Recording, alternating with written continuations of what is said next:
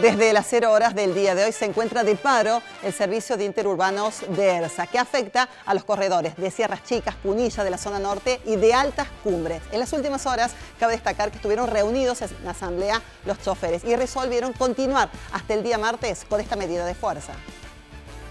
Por mayoría se ha decidido que se va a continuar con la medida porque no convence la propuesta que ha hecho la empresa.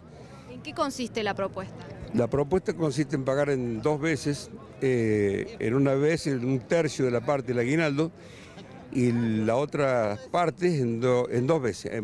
O sea, el día 2 de agosto terminaría de pagar. Pero esto no se aceptó por los trabajadores, creo que con todo el derecho del mundo, porque se le ha pagado a otros compañeros que hacen la misma actividad con nosotros, que nosotros, y la gente está esperando justamente todo un tiempo de seis meses para poder contar con el aguinaldo, cosa que no lo cuenta ahora. Es decir, que continúa el paro, ¿por cuánto tiempo? Y el paro va a continuar y mañana a las 12 del mediodía tenemos aviso nuevo en el Ministerio. Esperemos que la empresa ponga en consideración y mejore las condiciones. ¿La empresa pidió el procedimiento preventivo hoy en trabajo?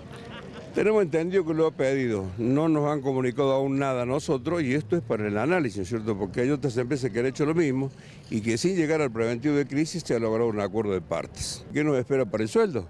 Porque si con el aguinaldo hacen esto, que es el 50% del salario, ¿qué quedamos para cuando tengan que pagar todo el salario? ¿Cuándo les avisaron que no iban a poderles pagar el aguinaldo? Ese es uno de los motivos más fuertes de esto, porque el día viernes a la tarde se le comunicó al cuerpo de delegados que no iban a pagar el aguinaldo.